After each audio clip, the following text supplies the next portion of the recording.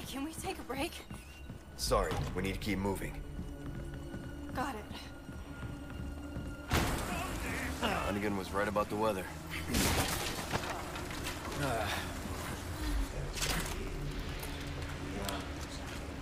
¡Ahí están!